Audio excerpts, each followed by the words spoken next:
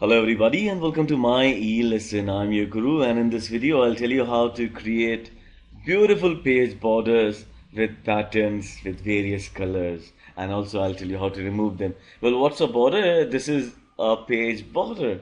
See it's a beautiful pattern or a design or a line which comes across the sides of your Word document. Alright, how do we create one? Well, let's start with the reverse. How do we remove one? Since I've already created one, so what I'll do is I'll go to the home page tab. I'll click on this borders button. I'll go to borders and shading. I'll choose page border over here. And to remove a border, I'll click on none, press OK, and the border is gone. Now I'll we'll learn how to create one. Again, go to the home tab, go to the borders but button,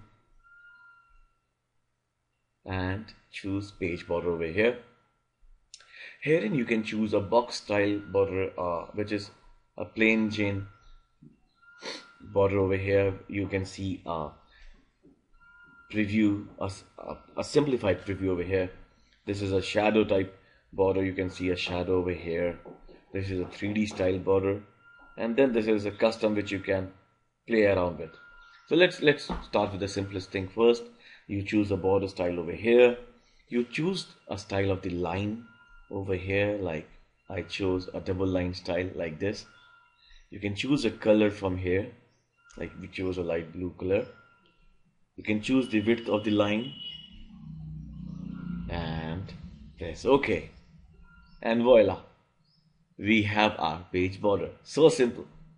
Now how do we set a pattern to it? All right. Well we again go to this tab the borders tab go to borders and shading go to page border and here you see this option art.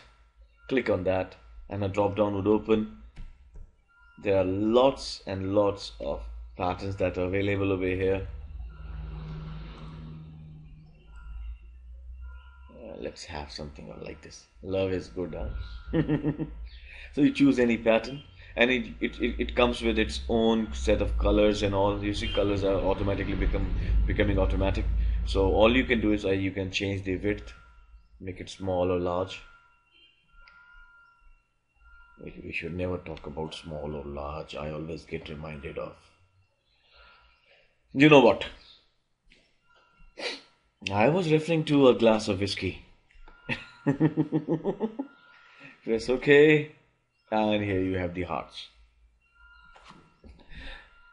All right. So we learned how to create a border, we learned how to choose a pattern, we learned how to choose a color and how to remove a border too. Alright, now what is remaining is for you to practice this file. Go ahead and practice it. How? Well, go to myelesson.org or just refer to the to the link in the description of this video below and you'll find the download link for this file. It's free. Go ahead, download it, practice it along. Alright? and see you in the next video. So till the next video, this is your Guru signing off for the day. Have a wonderful day ahead. Please do not forget to share, like and subscribe to my channel. Bye-bye.